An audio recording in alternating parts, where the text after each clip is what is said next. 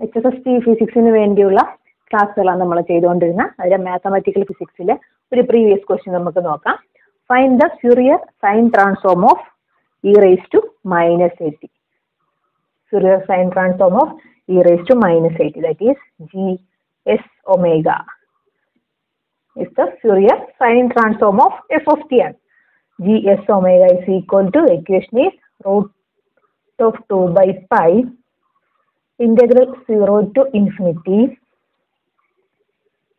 e raised to minus at sin omega t dt e raised to minus at sin omega t dt f of t sin omega t dt എന്നാണ് equation നമുക്കിവിടെ F of T എന്താണ് E raise to minus a t ആണ് therefore e raised to minus 80 sin omega t dt നമുക്ക് അറിയാം ഒരു identity integral E raise to A X sine D X D X is equal to double zero to infinity E raise to A X sine D X D X equal to വേണ്ട limit പിന്നെ കൊടുത്താൽ മതി E raise to A X by a B square into A sine a sin minus B b cos dx.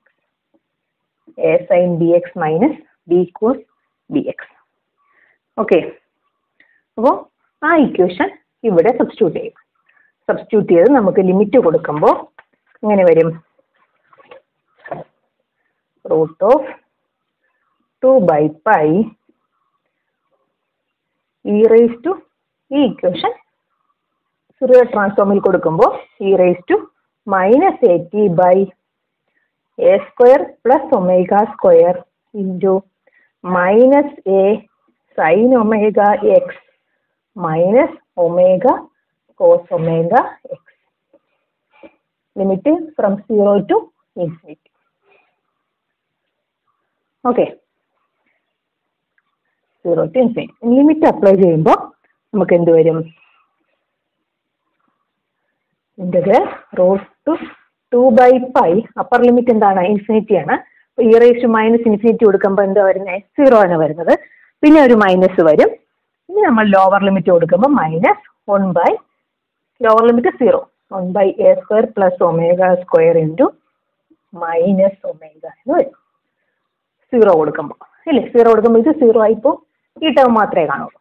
Minus omega is equal to root of two by pi into omega by A square plus omega square which is the Fourier sine transform of E raise to minus a t ഇതാണ് answer